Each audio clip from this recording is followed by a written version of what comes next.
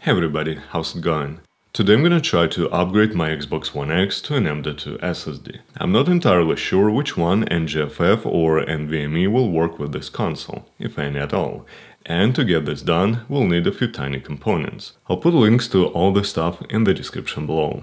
So in my Xbox One X disassembly video, I mentioned that the system board hasn't populated solder pads for an M.2 slot. By the way, I also have video on how to replace the thermal paste and pads and how to upgrade the console to an SSD drive. The links will be at the end of this video. So I was like, why not give it a try? If we solder all the missing components, then theoretically it should work, I guess. Alright, so I won't be showing you the disassembly process, you can go ahead and watch my dedicated video on that. So let's start with the slot.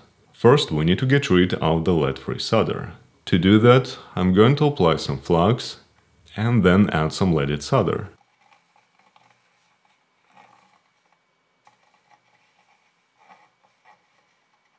And now we can remove the excess solder using a wick.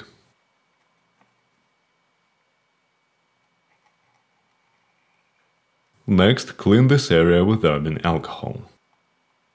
Apply some flux. Align the slot. And then solder down one end and then the other.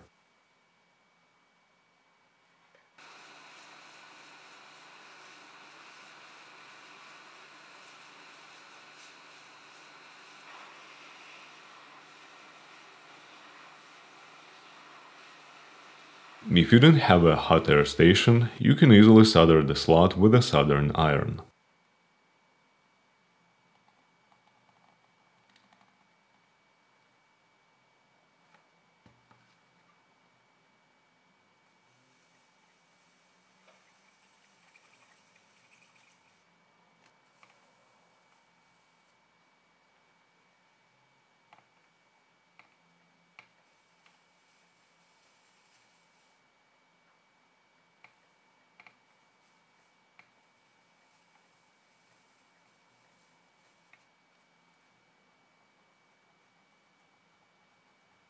Now we need to solder a standoff.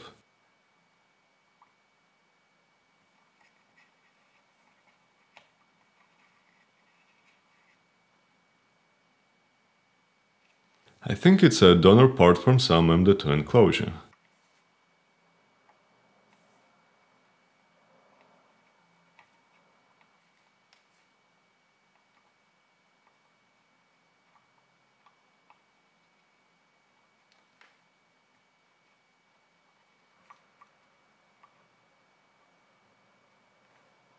Once done, we can slide the drive into the slot and secure it with a screw.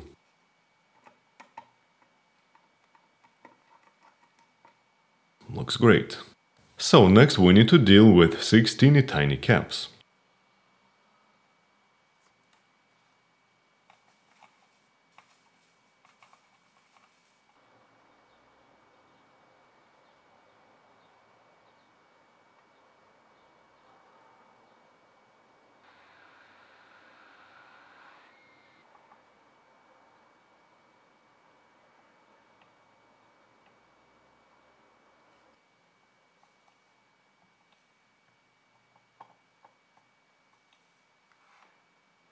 I hate soldering tiny SMD components.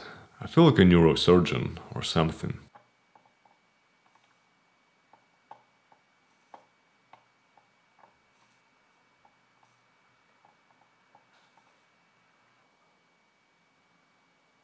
I think that's good enough.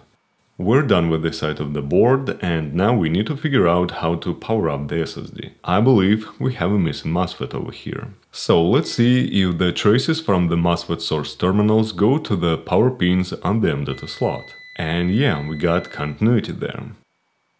Now let's attach the power supply to the system board and check if we have any voltage on the drain pins. M.2 SSDs require 3.3 volts, and we got it.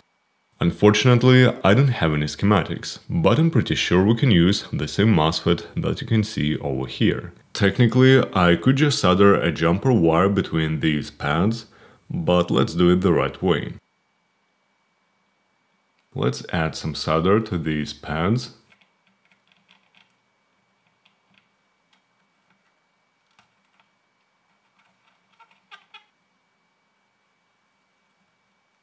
Position the MOSFET and solder it down. To properly solder such components you'll need a hot air station. Now let's clean up this area and see if it works.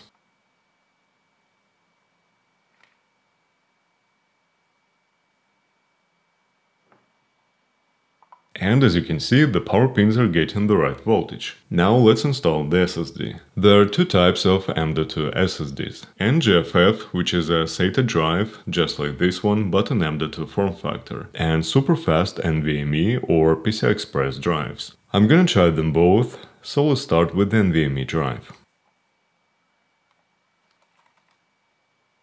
By the way, the console's chassis has a dedicated place for an M.2 SSD, which also acts as a heatsink, so just apply a generous amount of thermal putty on top of the drive. I recommend using Upsiren Neo 6 Pro, the link will be down below. And finally let's reassemble the console.